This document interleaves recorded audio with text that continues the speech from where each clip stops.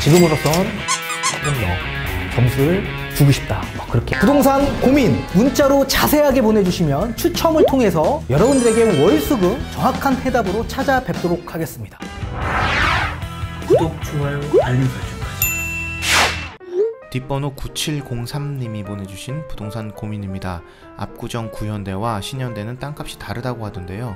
향후 재건축 시 구현대와 신현대의 가치는 어떨까요? 이렇게 보내주셨네요. 전문가님 답변 부탁드리겠습니다. 네, 일단 답변부터 드리도록 하겠습니다. 지금 압구정에 위치하고 있는 재건축 아파트 입지 조건이 사실 어디든 다 좋습니다. 근데 다만 우리 구독자님이 참 집요하게도 신현대와 구현대를 딱 집어주셨어요. 거기에 대해서 제가 답변을 해야 되겠죠.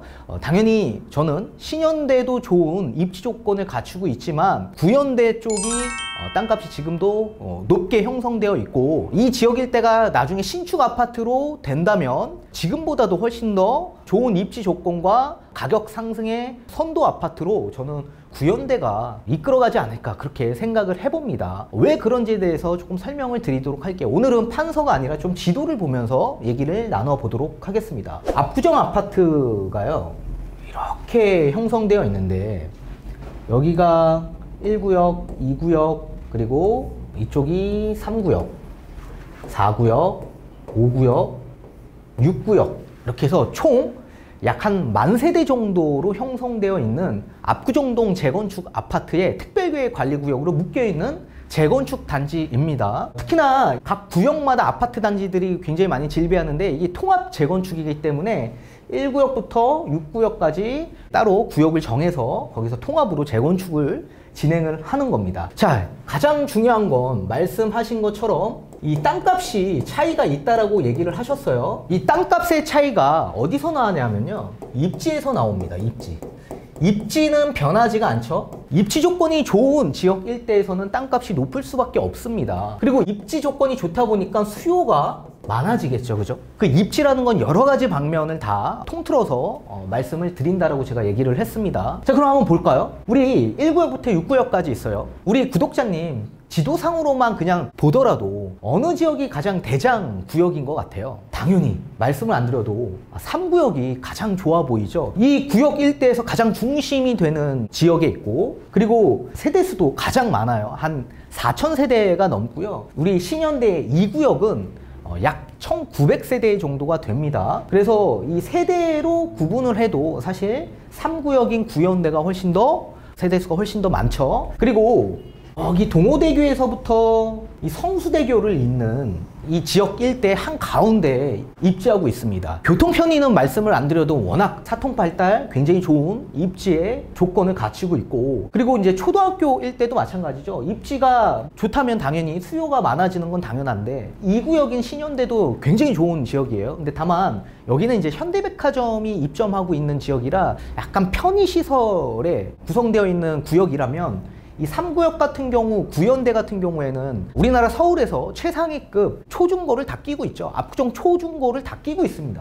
이게 단지 내에 있다 보니까 여기 사시는 분들의 수요층들이 굉장히 많아진다. 우리 압구정 아파트가 워낙 입지 조건이 좋고 어, 서울에서 가장 선도하는 아파트다 보니까 오래전부터 그냥 리모델링 하면서 고급 리모델링 하면서 거주하시는 분들의 어르신들이 굉장히 많기도 하고요. 또는 자녀한테 물려주고 본인들은 이제 신축으로 가는 경우가 있습니다. 그래서 이 자녀한테 증여하거나 아니면 자녀가 그냥 거주 목적으로 거주하시는 경우도 굉장히 많거든요. 이런 분들은 자녀들을 끼고 있는 분들이 많기 때문에 수요가 구현대 쪽으로 많이 들어갈 수밖에 없다. 자, 그런데 우리 이 구역인 신현대 같은 경우에는 여기도 이제 바로 옆에 뭐 신사중학교 현대고도 유명하죠. 그런 학교가 바로 옆에 붙어 있습니다. 다만 초등학교는 신구 초등학교 해서 이제 신사동 쪽으로 넘어가야 돼요. 또는 이제 압구정으로 배정받는 경우도 있지만 대부분이 신구초로 많이 배정을 받습니다. 자, 그거에 비하면 3구역 일때는 초중고가 다 그냥 단지 내에 있다 보니까 워낙 학군을 중요시하는 또 수요층들이 많이 찾는 어, 구역이라고 보시면 되겠습니다. 신현대도 좋지만 구현대가 훨씬 더 중심에 있는 구역이라고 보시면 될 것 같고요. 입지는 변하지 않습니다. 특히 3구역 일때는 제자리 재건축을 하죠. 이 압구정 구현대는 워낙 움푹 패져 있는 구역 일대가 많다 보니까 지형 자체가 한강뷰가 굉장히 많이 나올 것으로 예상이 됩니다. 그래서 아마 배치하는 데 있어서 배치도가 한강뷰 라인이 굉장히 많이 나올 거라고 어, 생각이 들고 있고요. 지금도 반포 일대 아크로 리버파크와 거의 가격이 비슷합니다. 근데 아크로 리버파크는 반포동 일대 신축 아파트지만 압구정은 아직도 낡은 노후된 아파트입니다. 따라서 만약에 압구정이 신축 아파트로 된다? 그럼 아마 서울 일대의 아파트 모든 아파트를 다 평정할 겁니다. 또 일대 재건축을 또 추진하고 있죠. 일대 재건축이 뭡니까? 어, 일반 분양과 임대 분양을 넣지 않고 그냥 내 평수를 그대로 받을 수 있게끔 고급화하는 재건축 방식입니다. 보통 우리가 38평에 살다가요. 일반 분양과 임대 분양이 많아지면 세대수가 많아지지 않습니까? 그러면 내 평수가 작아질 수밖에 없습니다. 그럼 내가 무상으로 받을 수 있는 평형대는 거의 24평 이렇게 한 평형 낮은 평형대를 분양받을 수밖에 없어요.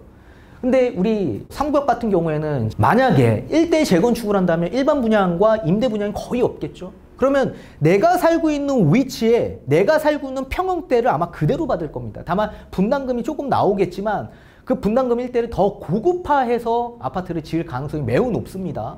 따라서 지금 압구정에 거주하시는 분들은 분담금이 많아지건 적어지건 상관이 없어요. 어차피 내가 오랫동안 예전부터 살고 있는 지역이다 보니까 어, 오랫동안 사신 분들이 굉장히 많다라고 했죠. 그분들은 조금 더 고급화하길 원합니다. 그래서 분담금이 조금 늘어난다라고 하더라도 저는 3구역 일대의 가장 핵심 지역, 입지가 변하지 않는 곳, 이 곳으로 조금 더 점수를 주고 싶습니다.